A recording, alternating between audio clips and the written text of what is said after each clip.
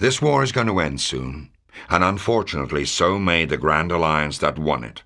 Ike's going to let the Soviets into Berlin first, and once that happens, everything will change. The spoils of this war are not going to be land or riches, but scientific research. The Germans have a huge head start in jet propulsion and rocketry, technology that's going to change the world we live in. This mission that you begin today is why you were brought into the OSS. It's been in the planning stages since before D-Day, since before I even knew your name. Lieutenant, you're being sent back into Germany one last time, on a mission that just may determine the fate of the free world. 150 miles southwest of Berlin lies the Harz Mountain Range. Buried deep inside it is the Nordhausen Mittelwerk plant, where the Nazis have been building their rockets ever since the Peenemünde raid in 43. The facility is run by the SS, and the toughest of the Waffen divisions are stationed there. The Germans consider the V2 program their last hope, and they'll protect it at all costs. We need to learn everything the Germans know, and bluntly, we can't let the Soviets find out. Your mission is to turn their own terror weapon against them, capture their research, analyze it the best you can, then use it to destroy the facility. I've been told that luck is when opportunity meets preparedness. If that's the case, Lieutenant, I wish you all the luck in the world. I hope to see you back in London soon.